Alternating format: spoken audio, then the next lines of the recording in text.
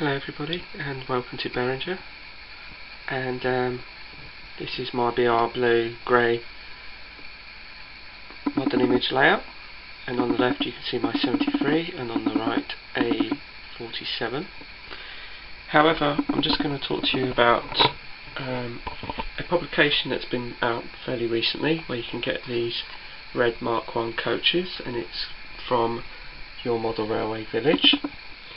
And basically those of you, or most of you will probably know that these carriages came with the first edition for 3.99 so many of you, as have I, have bought a fair number of these coaches. I have bought four and the only edition was this Bachmann buffet car. Now this is actually a bit of a how-to video because I've encountered some problems with the Mark 1s from the magazine. And I just wanted to show you that this one here is a modified version of the one that's in the catalogue. And it looks exactly the same as this one. Sorry not the catalogue, the magazine I should say. But this one has had no modification at all and neither have this, this one either. So this one's had full modification. Um, this one here behind has had some modification and I will go through some of it shortly as well.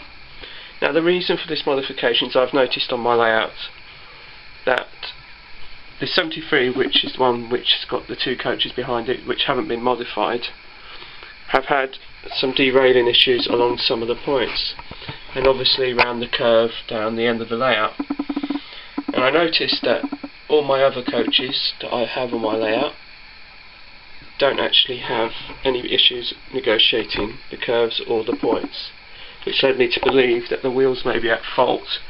And also, I found out from my previous Hornby Class 60 that because of the spring-loaded couplings as well, um, it would derail the wagons behind it. So what I've decided to do is I've changed the wheel sets. As you can see in the Hornby buffet car, it's the metal clear one, uh, the metal ones here. The this is a modified one, and you can also see also it's had the metal ones put into it and now it's had that and the spring removed on the coupling it runs a lot better than the one here which has had nothing done to it. Now if I show you this one here it has had some modification to it so I'll briefly show you. Now on the front on, you can see that this has had the Bachmann wheels put on it but if you go to the back this is the standard wheels that come with the loco oh that come with the coach. Forgive me. And um, and I found that this is the problem of derailing. So if you have this issue this is what could be causing it. Also I found that um, this one also has because it's got the spring loaded couplings I'll show you.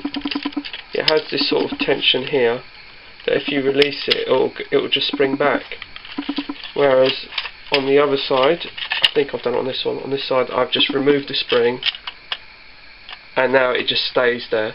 So when it goes around the curves there isn't this sort of opposite sort of tension going through the coupling which will help derail anything else behind it. So I've removed the spring and I'll show you how we'll do that. Okay now as you can see I've taken the coach off the layout and I've removed the, bo the bogie which is very simple. You just have to just pull it out gently and it will just come off. And then all you have to do is pop these two original wheels off the bogie and replace them with the Bachmann version which is a nice shiny silver version you can as you can see.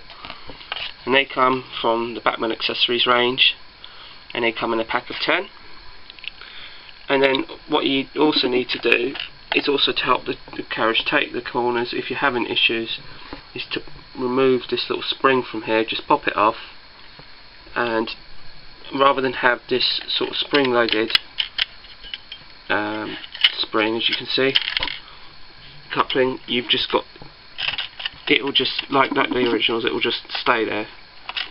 So there won't be no tension coming from any coaches behind it to try and derail it. So hopefully that will help you. Moving back to my 47 here. Um, I believe that's what's going to run.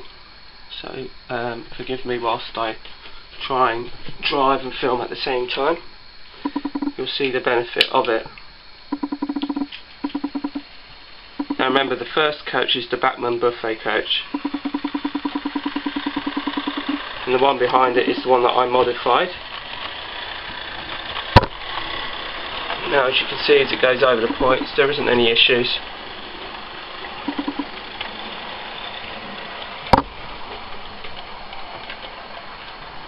Now if I just bring it back over here.